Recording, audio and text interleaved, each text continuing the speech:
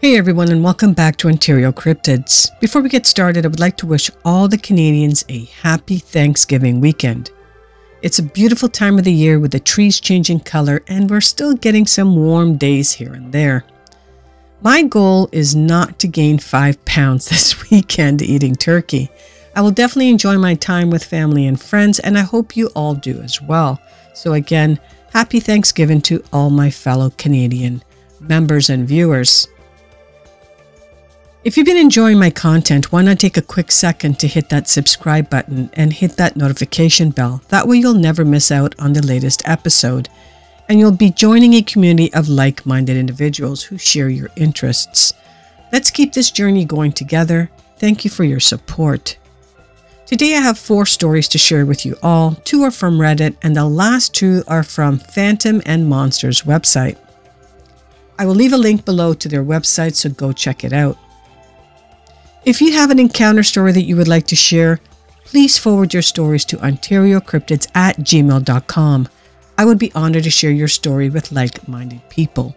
Now sit back and relax as we begin with today's episode.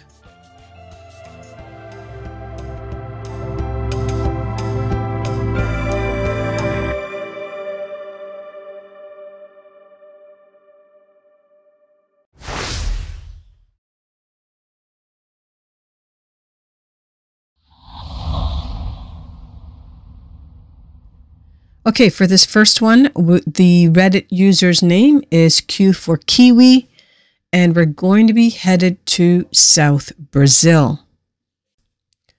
Long story short, about 17 years ago, we were driving back home from the mall. My mother was driving, my brother was in the passenger seat, and I was in the back seat. As we turned onto a very straight part of the road, all the street lights suddenly went out, but I didn't think much of it. As we were about midway through the road, I looked to the right towards a garage door that was illuminated and saw for two to three seconds something I cannot explain. I didn't see the legs, feet, or hands. This thing was completely gray and had an extremely muscular build. Had red eyes, no mouth, nose, or ears. It was crouched onto a garage door and had folded bat like wings on its back. It was around six feet five inches tall, 2.5 meters, based on the garage door size. As soon as I saw the creature, it turned and we locked eyes, with a face expression like it knew me personally. As soon as I realized it was something out of this world, I stopped looking at it due to the extreme fear I got, so I couldn't get a better description. I used Photoshop and some Google pics that matched it to reconstruct it. This is what I saw. Now, I'm not crazy because my brother saw it too. The encounter was so traumatic that it is now engraved onto my brain. The only difference is that my brother saw more details than I did, and he said it had chameleon like eyes that shined red orange. Anyone have any clue as to what we could have seen?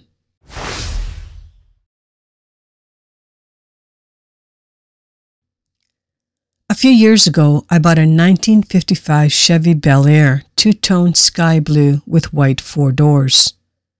It had a high nickel 350 small block, a Holley 600 carburetor, and a Hurst four-speed transmission. As a car enthusiast, I was in love with it. Despite my girlfriend at the time and even my mom calling it hideous, I had plans for it a fresh paint job, reupholstered seats, and new rims with white wall tires. But as soon as it hit 28,587 miles, the odometer broke and stayed stuck on that number. About 10 days after I bought the car, strange things started to happen. For instance, I'd come home with all of the windows up, but by morning, one or all of the windows would be down. Then there was the night I heard low rumble from the garage. When I checked, the car was idling even though I knew I had turned it off earlier. Items like drinks, hats, and tools would disappear if I left them in the car overnight. One night, the horn once blared uncontrollably, forcing me to disconnect it to get some peace. There was one incident where the hood fell on my hand. I ended up needing seven stitches, but that might have been my fault, but other things felt more eerie. Like one time I was sitting in the car with, with a buddy, and when I started it, the radio began playing a song that directly tied into our conversation. It was unsettling.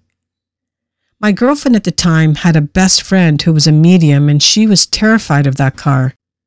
She refused to go near it. She said the car radiated a dark energy, something she couldn't fully explain. Whenever she visited, I had to park the car facing the wall because my garage had no door, and she'd swear it felt like I was watching her when I parked it facing outwards. The activities wasn't limited to the car either. After I got the Chevy, strange things started to happen in my house as well. Doors and cabinets would slam. I'd feel cold spots in heated rooms, and there were nights with knocking on the walls. Sometimes I'd even hear footsteps in the kitchen late at night. Eventually, a family friend who also is into classic cars had owned several Tri-5 Chevys. He offered me 10000 for the car. Since I only paid 8000 I took the offer. That was in September of 2021.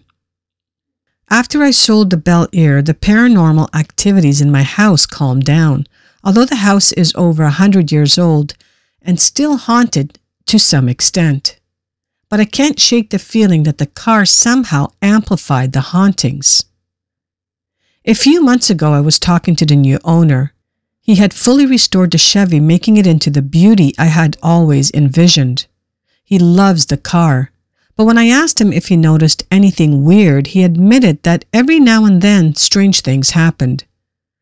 The oddest incident happened one morning while he was having coffee with his neighbor. His neighbor had asked him what he was doing out late the previous night.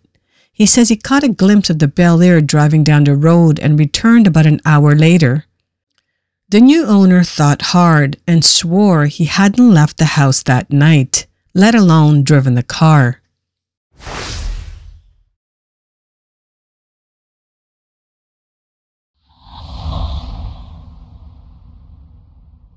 For this next one, the date is unknown, uh, but the location is in New Mexico, located somewhere near a Navajo reservation. I have a friend who lives in a rural area near a Navajo reservation in New Mexico. She would hear tapping on her window and walking on her roof. One day, when I was over at her place, she went to sleep and I stayed awake. I started hearing the walking on the roof, and when it stopped, I started feeling uneasy and anxious for no reason, so I went outside to smoke. Her house is a one floor small house on a farm that's in the middle of a forest and has a hammock 20 yards to the side of the house. I was laying down smoking when I heard some noises in the trees around the house. I started getting scared, so I called her dog, a German Shepherd, at least to feel a bit safer. As soon as I called her dog's name, the noises instantly stopped, and Sky the dog started barking and ran to the back of the house as if she was chasing something. I didn't want to stay outside as I thought it was some animal, so I started running after Sky in the woods. I chased her about 200 yards running into the woods. I could hear the thing running, but I never saw what it was. When I got to her, I grabbed her collar and had to pull her back to the house as she was scared and didn't want to come. When we were about 30 yards away, she started crying and absolutely didn't want to go in that direction. When I got closer, I saw my friend with her gun standing at the door. When I got to her, she snapped at me, yelling at me for opening the gate to the farm, leaving the front door open, and leaving without my phone. I left it charging. After I calmed her down, I told her what happened and she asked why I left the door open. I told her that I didn't and that I double checked that I had closed it so that Sky wouldn't go inside and that I didn't open the gates either. I just ran after Sky about 200 yards away from the house. The gates were a mile away and that it must have been the person Sky was chasing but it didn't make sense because they would have had to have run a mile in a minute at best. She said she got freaked out because she woke up hearing knocking somewhere. When she saw I wasn't in the guest room, she looked out the window to see if I was in the hammock.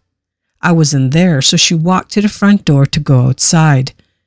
As soon as she looked at the front door and started to open it, the knocking stopped.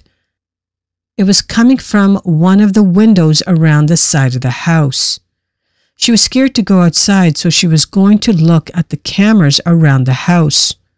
I was nowhere to be seen and the gate was open. She got scared and concerned, thinking something had happened, so she got her gun to go look for me. That day, Sky slept inside with us, and we heard knocking and walking on the roof all night.